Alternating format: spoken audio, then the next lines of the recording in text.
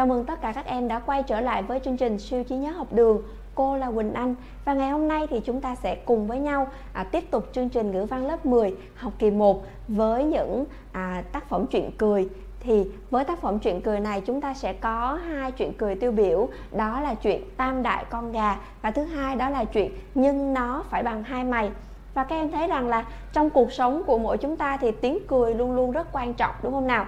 Và với những người bình dân xưa thông qua cái tiếng cười thì họ cũng sẽ gửi gắm những cái bài học gửi gắm những cái sự phê phán những sự tố cáo xã hội lúc bấy giờ. Thì cùng với cô tìm hiểu hai tác phẩm truyện cười này.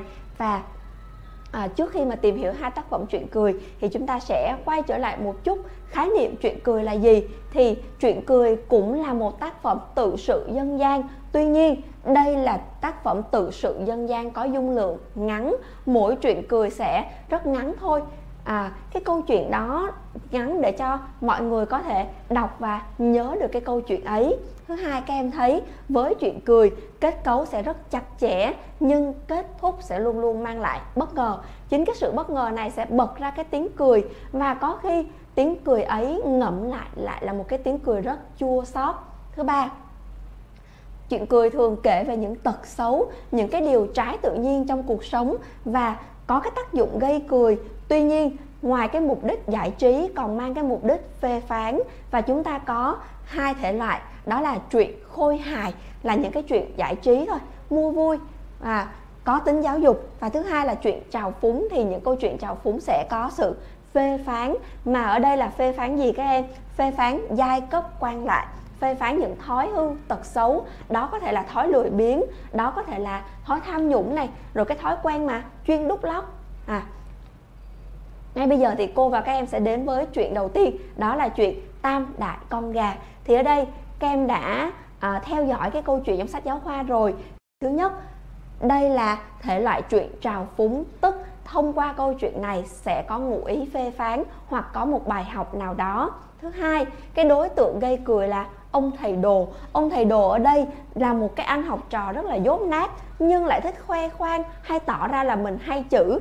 Và sau đó thì anh được đón về dạy trẻ và cái cái bi hài nó bắt đầu diễn ra từ đây. Thì các em thấy trong cái câu chuyện này nó sẽ có hai tình huống. Tình huống thứ nhất, đó là cái tình huống dạy học trò đọc chữ. Và cái tình huống thứ hai một lát mình sẽ phân tích đó là việc khi mà à, cha của những cái đứa trẻ phát hiện ra cái việc mà anh thầy đồ dạy sai. Thứ nhất các em thấy thầy đồ này là một người rất là dốt nát nhưng luôn luôn tỏ ra là một người hay chữ. Anh được mời về dạy cho những cái đứa trẻ. Và đây là một việc làm rất là nguy hiểm bởi vì kiến thức của mình còn chưa chuẩn. Làm sao mình lại đi dạy cho những cái đứa trẻ mới bắt đầu học những chữ đầu tiên? Và à, bắt anh bắt gặp cái chữ kê ở trong sách thì kê có nghĩa là là gà. Tuy nhiên là chữ kê thì lại quá nhiều nét. Anh thầy đồ lúc bấy giờ thì rất là à, bối rối không đọc được cái chữ này. Và đây là chữ được trích trong sách tam thiên tự. Đối với những đứa trẻ thì nó có thể không biết nhưng đối với người lớn thì ai cũng phải biết chữ này. Các em thấy ở chi tiết cuối cùng cha của à, những cái đứa trẻ là một cái người dân lao động rất bình thường. Nhưng mà khi nhìn là biết ngay chữ kê ấy vậy mà thầy đồ lại không biết chữ kê là gì. Và thầy đã bị học trò hỏi liên tục. Và thầy phải tìm cách để làm gì? Giấu dốt của mình. Và với cái việc mà học trò hỏi liên tục á thì thầy đã phải liều lĩnh nói là gì các em? Chữ đó là dụ dĩ là con dù gì dụ dĩ dù gì là những cái cái từ mà thậm chí còn không có thật ở trên đời và cái việc chống chế dấu dốt này cho mình thấy được rằng cái thói dấu dốt rất là đáng sợ. Tuy nhiên là à, thầy cũng biết rằng cái việc mà mình chưa chắc chắn với chữ này nên là thầy đã nói học trò là đọc khẽ thôi đọc nhỏ thôi. Sau đó thì để chắc chắn hơn để minh chứng cho cái việc là chữ đó là chữ. Đúng rồi thì thầy đã à, đi tìm đến đến thổ công tức là cái vị thần để canh giữ cái vùng đất cho ngôi nhà tuy nhiên là các em thấy muốn hỏi về học vấn thì phải tìm một cái vị thần khác. Ở đây lại đi tìm hộ công. Và à, xin tới tận ba đài âm dương thì thì đều được. Nên là thầy đồ cảm thấy rất là chắc chắn nghĩ rằng là là mình đúng rồi. Nên sau đó cái ngày hôm sau thì thầy đồ đã rất là bệ vệ ngồi lên và kêu học trò đọc thật to dũ dĩ là con dù gì? Ở đây các em thấy thầy đồ là một người đã dốt rồi đã đi giấu dốt đã chống chế lại không có cái thói quen học hỏi. Đáng lý ra thầy phải về xem lại kiểm tra lại kiến thức của mình. Nhưng chỉ nhờ thổ công thôi chỉ thông qua ba cái đài âm dương thôi, thì thầy đã chắc nịch kiến thức của mình. Như vậy đây là một cái à, cái thói quen rất là xấu trong xã hội xưa. Và các em thấy tình huống thứ hai à, thầy phải đối mặt với cái việc là ông chủ nhà biết chữ. À khi mà nghe à, những cái đứa trẻ đọc rất là lạ thì chủ nhà đã ngay lập tức chạy vào và nhìn vào sách thì phát hiện đó là chữ kê và hỏi thầy là gì? Ôi chết thật chữ kê mà tại sao thầy lại gọi là dụ dĩ là con dù gì thì thầy lúc bây giờ đã ngẫm nghĩ mình đã dốt thổ công nhà nó cũng cũng dốt nữa. Thì ở đây các em thấy được rằng là gì? Thầy tự nhận thức cái sự dốt nát của mình đúng không nào?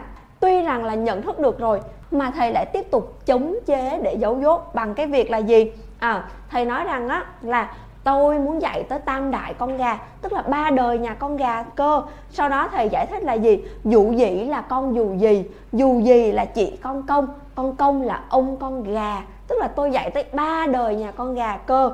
Mà các em thấy đã dốt rồi thì cỡ nào cũng cũng sẽ bộc lộ ra. Và cái tiếng cười anh thầy đồ à, thích khoe mẽ thích tỏ ra ta đây là là hai chữ nó được bật ra ở đây. Và với câu chuyện này thì các em nhớ dùm cô cái ý nghĩa đầu tiên đó là việc phê phán thói quen giấu dốt một cái tật xấu của của con người trong xã hội xưa. Và thứ hai chúng ta thấy có ngầm ý. Ngầm ý ở đây là gì các em? Khuyên rằng mọi người đừng ngại học hỏi mà phải phải hỏi phải bày tỏ cái sự à, chưa hiểu biết rõ của mình để làm gì? Để rèn luyện để tiếp tục à, được dùi mài kỹ hơn. Và với các em các em là học sinh thì cũng vậy. Trong bất kỳ một cái vấn đề nào trong việc học, các em luôn luôn phải hỏi. Có thể hỏi thì mình chỉ chỉ không biết ngay lúc đó, nhưng nếu mình mình không hỏi thì mình sẽ không biết đến cả một đời và chúng ta sẽ đi qua cái phần nghệ thuật của câu chuyện này. Thứ nhất các em thấy nghệ thuật xây dựng mâu thuẫn. Mâu thuẫn ở đây diễn ra rất là là bi hài. Và mâu thuẫn ngày càng phát triển. Cuối cùng đưa ra một cái yếu tố rất là bất ngờ. Đó là cái sự phát hiện của ông chủ nhà hai chữ. Và đó là cái sự bất ngờ về cái việc là chống chế đến mức mà liều lĩnh của của anh thầy đồ. À, và các em thấy là trong cái câu chuyện này cũng sử dụng rất nhiều những câu nói những yếu tố gây cười đúng không nào?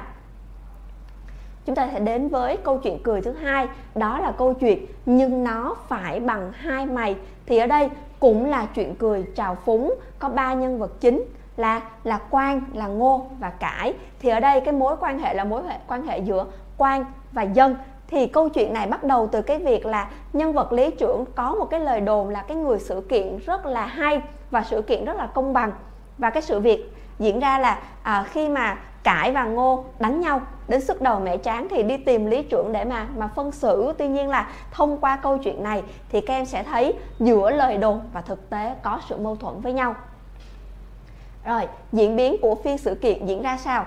Thứ nhất là à, khi mà đánh nhau sức đầu mẹ chán thì cải đã tìm đến à, lý trưởng trước và cải đã dúi cho lý trưởng năm đồng và lý trưởng tuyên bố ngô thắng cải đánh cải 10 roi cái rất là bất ngờ tại vì mình đã đi năm đồng rồi chả lẽ nào mà mình mình lại thua? Nhưng mà đầu tiên các em đã phải thấy rằng là là cái việc sự kiện này rất là vô lý. Quan lý trưởng không hề hỏi lý trưởng không hỏi sự việc diễn ra đầu đuôi thế nào à, đánh nhau ra sao rồi tại sao mà lại đánh nhau ai đánh trước? Rồi không hề hỏi những chuyện đó mà lại ngay lập tức đưa ra cái cái kết quả. Và các em thấy cả đã phản ứng là gì? Cải vội xòe năm ngón tay, lẽ phải về con mà. Con đi năm đồng. Rồi, tuy nhiên là các em thấy lý trưởng đã phản ứng lại cái hành động của cải là gì? Lấy một cái tay trái, úp lên cái mặt tay phải và nói rằng, nhưng nó phải bằng hai mày. Thì ở đây các em thấy năm cái ngón tay tương đương với 5 đồng. Tức là chỉ có một lẽ phải, đó là cái phép tính đầu tiên của lý trưởng. Rồi, sau đó thì lý trưởng nói là gì? Ngô 10 ngón tay tương ứng với chuyện là gì? 10 đồng. Thế thì gấp đôi lẽ phải. Vậy thì cái phép tính này được đặt ra cho ta thấy được rằng là nhưng nó phải bằng hai mày. Vậy thì ngô đã nhanh chóng và thông minh hơn, đi 10 đồng cho cho lý trưởng. Và các em thấy, với cái lời nói, tao biết mày phải, nhưng nó phải bằng hai mày. Thì ở đây chữ phải này có rất nhiều điều cần phải phân tích. Thứ nhất, các em thấy phải là lẽ phải đúng không nào? Là một cái khái niệm nó trừu tượng nó mơ hồ. Tuy nhiên thông qua lời của lý trưởng thì phải bây giờ trở thành gì? Hiện hữu phải ở đây tương ứng với với tiền. À mày có có 5 tiền tức là chỉ có một lẽ phải thôi. Nhưng mày có 10 tiền thì mày sẽ phải gấp đôi cả lẽ phải nữa. Thì các em thấy được rằng là à, cái chữ phải ở đây tương xứng với với chuyện tiền. Và lẽ phải nó có thể kéo giãn hay là co lại được và cái việc mà các em thấy thầy à, lý trưởng đã lấy tay trái để úp lên tay phải có một cái ngầm ý nói rằng là gì? Chỉ cần có tiền thì cái điều trái nó sẽ che lấp đi đi cái phải. Và ở đây các em thấy chỉ cần có tiền thôi là là sẽ làm gì? Thắng kiện. Và ở đây với cái cách chơi chữ thì các em thấy tạo ra cái sự bất hợp lý. Tuy nhiên trong phép tính của lý trưởng thì lại vô cùng hợp lý. Và người à, nhân dân lao động bình dân xưa muốn phê phán cái cái thói đúc lót. Rõ ràng cải đã rất nhanh chóng đi đúc lót nhưng cuối cùng lại nhận về cái sự thảm hại cũng bị đánh 10 roi mà chưa kể còn tiền mất tật mang. Cái thứ hai chúng ta thấy cái lời nói của à, lý trưởng đấy thì lại hợp lý trong cái phép tính của mình. Và rõ ràng phù hợp với những con người tham nhũng thích tham nhũng. À như vậy đối với câu chuyện này thì các em thấy cái nghệ thuật đầu tiên cũng là cái nghệ thuật xây dựng những cái yếu tố mâu thuẫn đầy bất ngờ. À, đến khi mà 10 cái ngón tay được đưa ra thì chúng ta ngay lập tức hiểu rằng là cãi thua rồi đúng không nào? Sử dụng những câu nói gây cười hành động và hình thức chơi chữ chúng ta thấy câu nói gây cười là gì?